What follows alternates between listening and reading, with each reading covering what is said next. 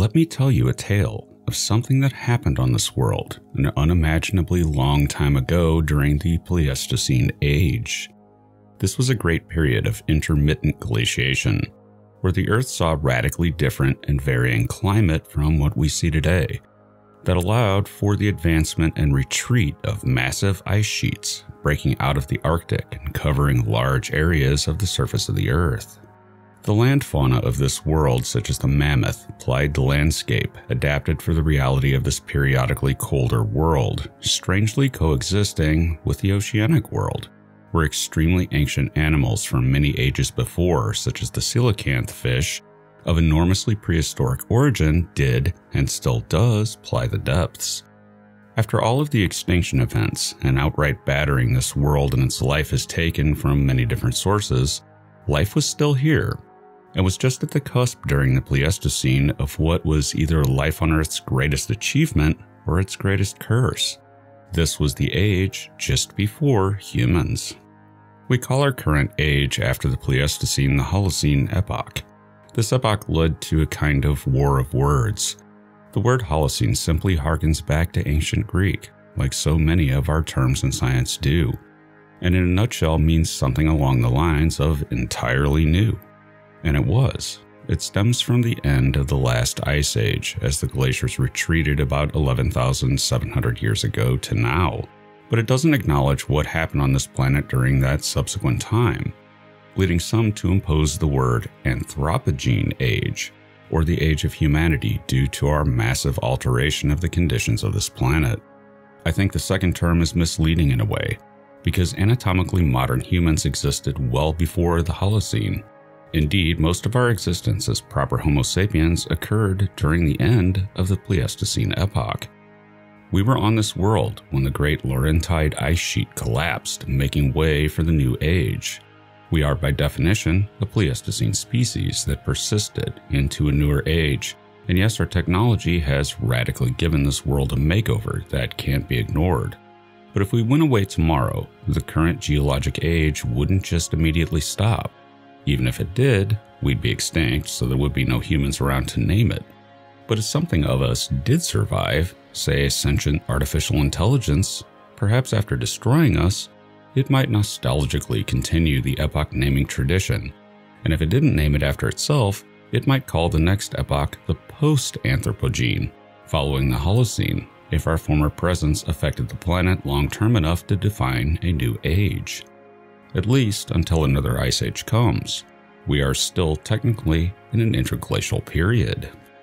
But as a development of the Pleistocene epoch, Homo sapiens came relatively late in it. And when we do appear, the reality is that there was already someone here. The first fires and tools being used on planet Earth were not our inventions, but rather something we inherited. Think about that. A controlled fire is not a phenomenon of nature, but the harnessing and use of it takes advantage of nature, as is the fashioning of a hand axe out of raw stone. That makes these, by definition, technologies. If you think about it, all objects of our modern age are fashioned from and are allowed for by the properties of nature. Today we mine aluminum from the crust of the earth and refine it, just as our predecessor hominids once did for suitable materials for stone tools. We mine gold and use it to build computers, whereas it was also used as a coinage before that, and ornaments even before then. We build cars of steel, again, mined from natural materials. That is technology, the unnatural from the natural. But technology does not originate with Homo sapiens. Here we must give credit to our hominid predecessors, though it's unclear just which one invented tool making. But it was in full swing by the time of Homo erectus, before modern humanity, there was someone on this world making tools and using fire, and from them came us in more ways than just simple evolution.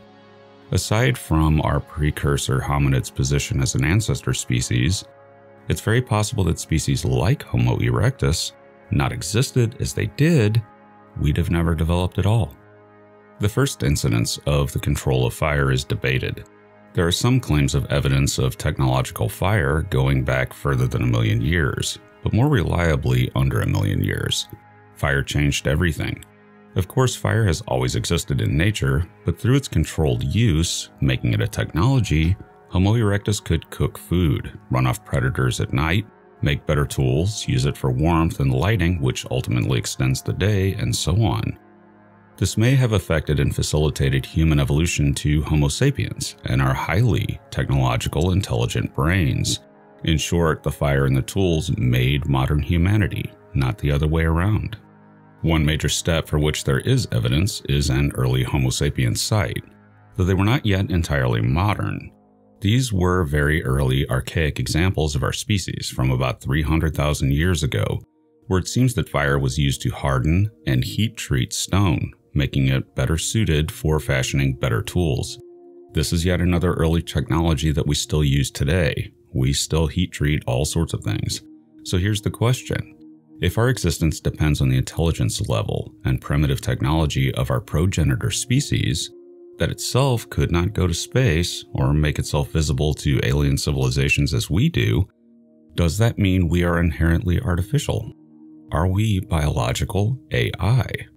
Does all highly technological intelligence in the universe come about in this way? That's right. It may be that if you want to interact with a general artificial intelligence, you don't need it to be an electronic one. Just look in the mirror and talk with other people. And this effect is compounded by another rather spooky thing. Aside from technologically guided intelligence, your thinking is not the same thing as how an early modern human 50,000 years ago thought in one key way it's in how you were programmed. We call it learning and education. But teaching children to read, write, do math, cook, tie shoelaces, ride bicycles, speak, and so on are necessarily learned and taught pieces of information that lead to a worldview and existence very much different from our ancestors that lived before the discoveries and inventions existed that led to the convention of those things being taught. And sometimes they replaced other things formerly widely taught. Comparatively few today know how to make a stone knife and keep it sharp, fashion a clay pot and heat treat it, mix up the materials of nature to make paint for the cave wall, operate the ins and outs of a manual typewriter, and so on. That, of course, doesn't mean our ancestors were unintelligent. They were just early in the game, as far as building the cumulative knowledge on which our modern civilization is built on. But education is rare in nature outside of humans, though some form of it likely existed with Homo erectus and before. How to keep a fire going or making a tool is knowledge passed from one individual to another. Some animals do acquire knowledge from others, and even interspecies. We can train animals, and we learn from them all the time. But it's not on our scale as human civilizations. Dinosaurs were not writing textbooks on physics and ultimately figuring out over centuries how to deflect an asteroid. While it would have been useful for them, they didn't have the brain for it. But for Homo erectus to have existed and subsequently led to Homo sapiens, everything was very situational. For it to come about, a great many things had to happen. The right physiology, in the right climate, in the right area of the world, and many other things had to converge to reach Homo erectus. Had anything gone wrong and they went extinct, which they are now, then the chain to us would have been broken. We know from the history of Earth that no other situation in the past 4.5 billion years has presented itself such that a technological civilization developed. Because of the Silurian hypothesis, we can't rule that out, but we see no evidence for it. So, in all that time, only one highly technological species has appeared, and it depended on previously primitive technological species. As a result, this might be a strong candidate solution for the Fermi paradox that intelligence on our level just doesn't happen often. It could simply be too hard to get there for most inhabited worlds. Sure, some make it. Intelligence on our level is unlikely to be unique, but they might either be so far away we can't ever see them, or they may exist at a different time. If civilizations are very transient and are only detectable for a short time before they run out of resources and go extinct, or alternatively reset to a more primitive existence, then it would be no wonder that we see the Great Silence.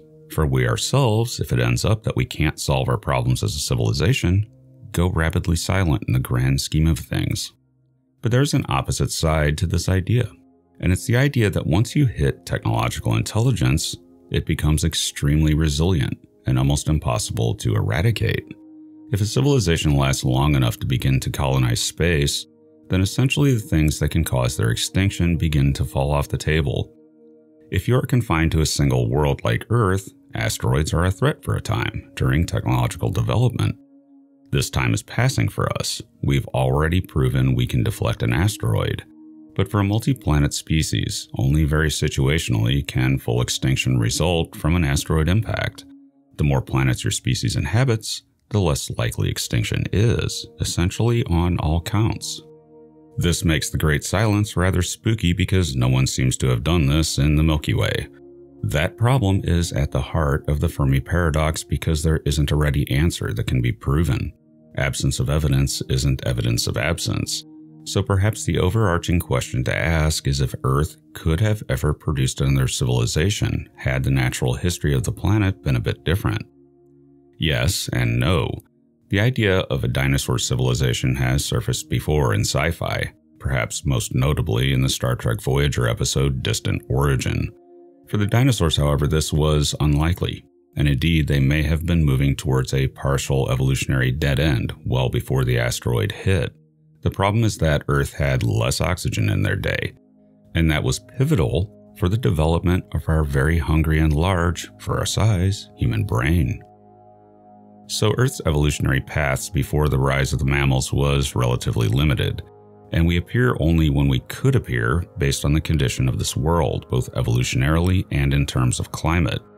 This path won't be the same for all planets in the universe. There may be many biospheres out there, but few that reach the magic conditions needed for intelligence. But once that does happen, there could be an explosion of intelligence on a world across not just one, but multiple species, both through natural evolution towards it, but also technology. Yet we see nothing when we look out into the cosmos, at least so far, though that changes in a day with the discovery of a strong SETI candidate. It may simply be that the creation of a somewhat technologically enhanced position of early tool use and fire use for the continued evolution towards intelligence is a prerequisite, and that the great filter may simply be that such a situation doesn't happen very often and the natural result of an emergence of artificial intelligence of sorts from a progenitor tool using species isn't common at all. But I leave you with this.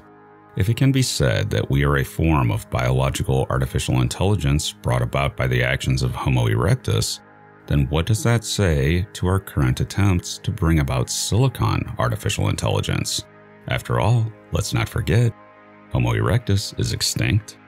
Thanks for listening. I am futurist and science fiction author John Michael Godier, currently casting a suspicious glance at the dinosaurs. Maybe they were smarter than we thought.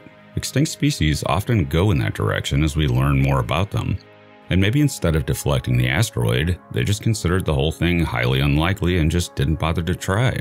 The hubris of the dinosaurs knows no limits. Won't even get into the grim view I have of the related pterodactyls, and be sure to check out my books at your favorite online book retailer and subscribe to my channels for regular, in depth explorations into the interesting, weird, and unknown aspects of this amazing universe in which we live.